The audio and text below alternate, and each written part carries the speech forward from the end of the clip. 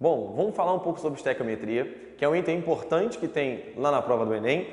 Cai com frequência, aliás, nos últimos dois anos, caíram algumas questões em relação a isso que a gente vai até resolver um pouquinho mais tarde.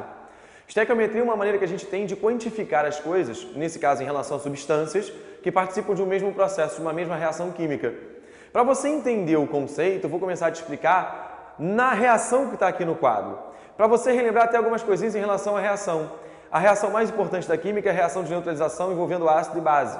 Ácido mais base dá sempre sal mais água. Então, exemplificando, ácido sulfúrico, que é o ácido mais importante da química, reage com hidróxido de sódio, que é NaOH, formando sal mais água.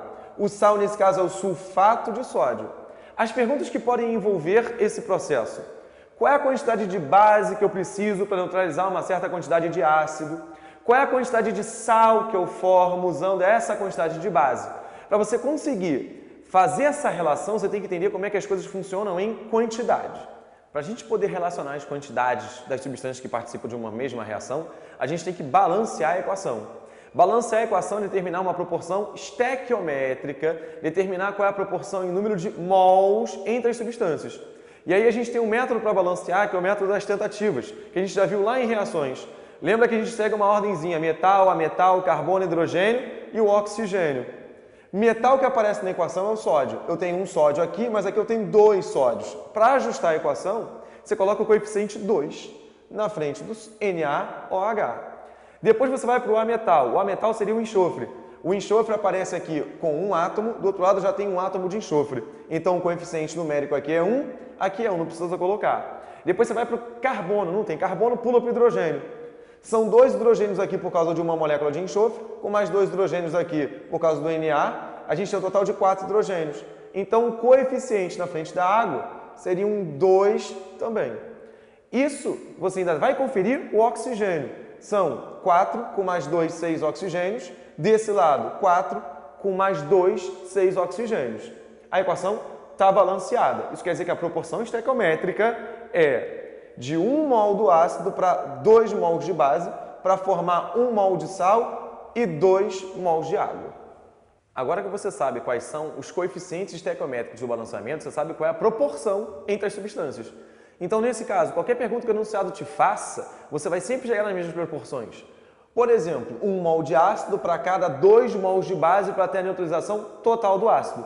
Então, vamos começar a trabalhar nesse esquema.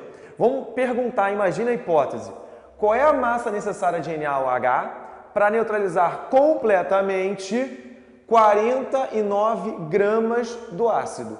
Eu vou colocar a informação aqui e a gente vai começar a fazer a conta em função disso. O enunciado falou que nós temos 49 gramas de ácido sulfúrico para, sulfúrico para serem neutralizados.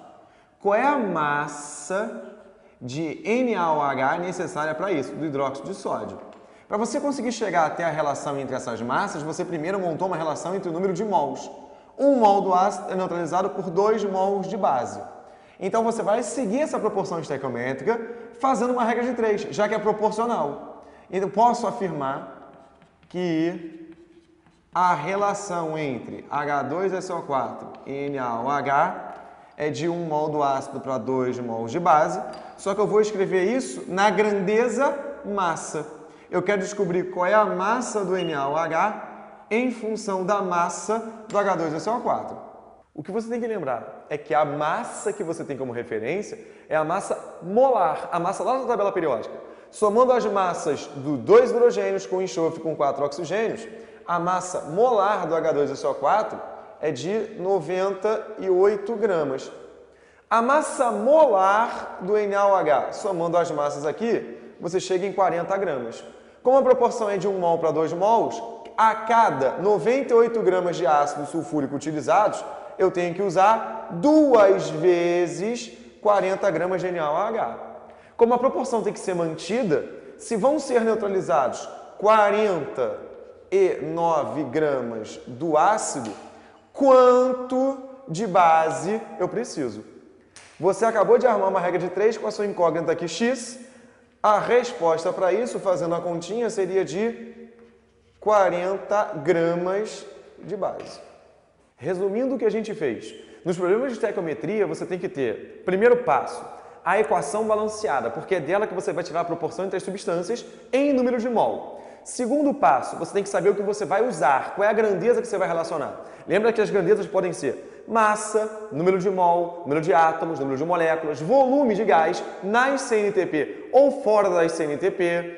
A gente pode depois, com base nisso, armar uma regra de três. A regra de três é que vai solucionar o seu problema. Então, três, as três etapas: montar a equação balanceada, relacionar as grandezas que ele está pedindo no enunciado e fornecendo, armar uma regra de três e aí você chega na resposta.